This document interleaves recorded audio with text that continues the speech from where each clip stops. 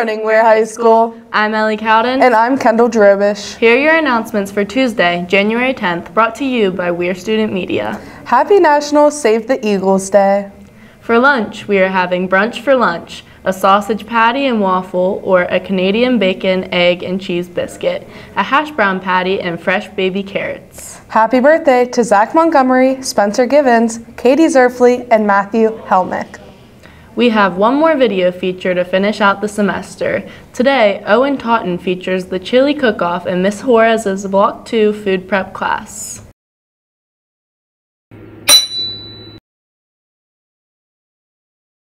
My name's Miss Horace. I'm the food prep teacher.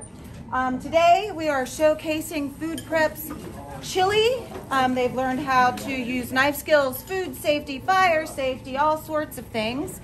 And so they've had to take it and put it into this chili. We're having a chili cook-off. Um, I have an established expert panel of judges consisting of Zach, Chef Kettle Corn. Chef Category.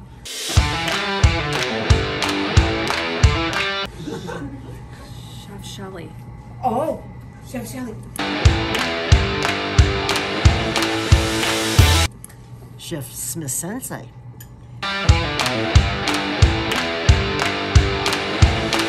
Chef Violet. I am the acute angle. I'm on a seafood diet. I see food and eat it.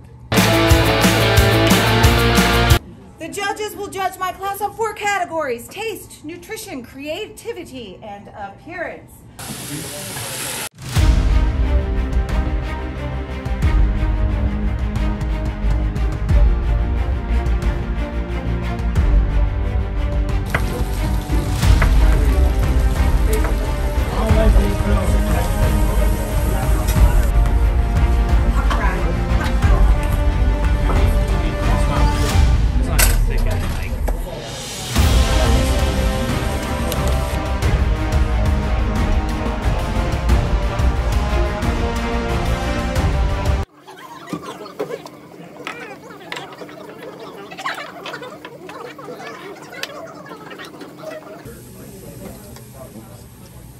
Sorry, I'm left-handed.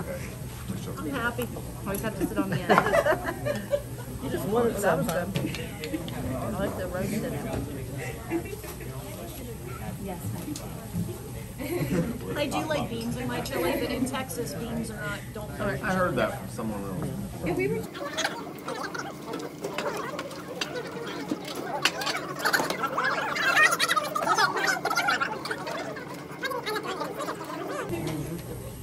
different flavor than somebody, they, Yeah, Everybody they're the, else first, has they're the first one that had oregano. it's very thick. How did you get it thickened?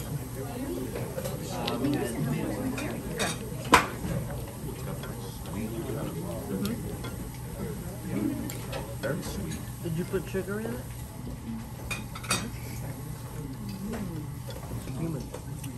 Nice and fluffy, not overdone. I can taste the cumin. yeah. The other- Guys here, Ms. Smith Montgomery, or sorry, I said I can taste the cumin. Sensei. I'll- Yeah, I think. Mm, the biscuit is very good. Biscuit is excellent. Oh, that's delicious, that biscuit. Perfect fluffy. Got any more? of those? You hate them. Did, this didn't come from a box, did it? No, no. Okay. Mm, those are delicious. They are good. Do love che- like cheese in my chili though, so I like that it's mm-hmm. The cheese is coated in cheese. I'm not really a big bean fan, so this is very good. good. I am a bean. Mm-hmm. See, I really like the sweetness of uh, the third one. I, I, really- I really like. I wish the third one had a little bit more spice, like a little bit more kick. Like, mm-hmm. like that's my. The third one together. Would have been awesome. But I, I, I'm a bean or meat. See I, see, I think that's why I like the third one so much. For Like I said, it creativity, I was like the it was last very one. filling. Oh, the Yeah, last, the one last was one was very good. creative. Yeah, I like that one a lot too. The dessert or the cornbread on that, the pumpkin cornbread, that was really good. Yeah. Oh, Okay, and then we had to come up with a runner-up, right? Two, I'd say two, and then I like the Frito one too. I like that. I think I'd say That was the third one?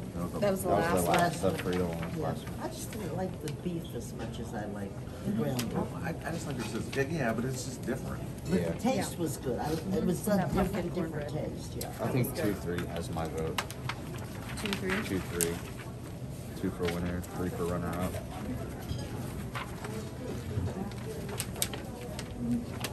So I like, I like four, even though it had the beef. I agree with the two. They- Yeah, they were all good. So we know two. We gotta I pick- pick a agree with runner-up two. now. They were all really good. What do you pick?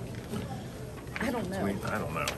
Me, it's a, between it's three a and coin four. flip. It's between three and Three four. and four for me. Yeah. Me too. I don't I which one. like four, but that's just me Okay. personally. What I'm I gonna, like. I think I like. I didn't like the oregano taste. Maybe I just don't like oregano that much. But they had in the oregano third too. one. They. But the it was, I fourth- felt like it was over But the a little bit third one more. had too much.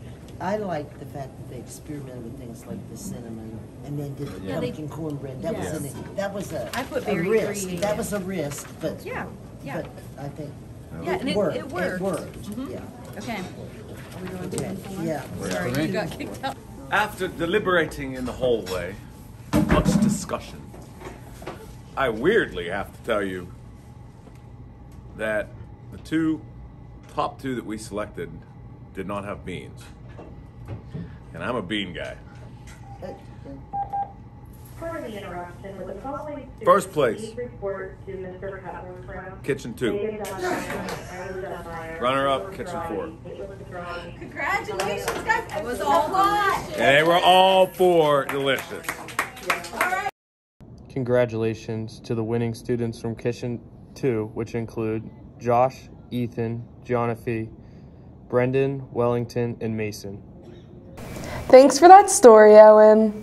In other news, freshmen, if you did not get a form for the Pepperoni Rollers fundraiser, please be sure to get one from the cafeteria. FBLA will hold a meeting today in the cafeteria immediately after school. Final exams are just two days away on Thursday, January 12th. All students who have missed three or more days of school must take exams. If you are exempt from exams, your signed forms are due tomorrow. Friday, January 13th is an exam makeup day only for students with a doctor's note or pre approved absence. Students must turn in an early dismissal note if they wish to leave before the end of exam day. No early dismissals will be taken over the phone. This Friday, January 13th, is the last day to make schedule changes. See a counselor during your lunch to do so. No schedules will be changed after that date. There is no school on Monday, January 16th due to Martin Luther King Jr. Day. Second semester begins on Tuesday, January 17th. Next Wednesday, January 18th, is the deadline for sophomores to apply to attend Governor's School of the Arts at Marshall University. Visit the link below or see a counselor for more information. Teachers, due to finals week and the semester change, We're Caffeinated will resume selling coffee the week of January 23rd through the 27th. Order forms will be delivered on Friday, January 20th for the following week. Now for your sports info. Good luck to the sports teams competing this evening. The bowling team hosts East Liverpool at the Holiday Lanes starting at 3:30, and boys varsity basketball hosts Linsly starting at 6. Finally, your fun fact of the day. You cannot hold your nose and hum at the same time. That's it for today. Have a totally tubular Tuesday, Weir.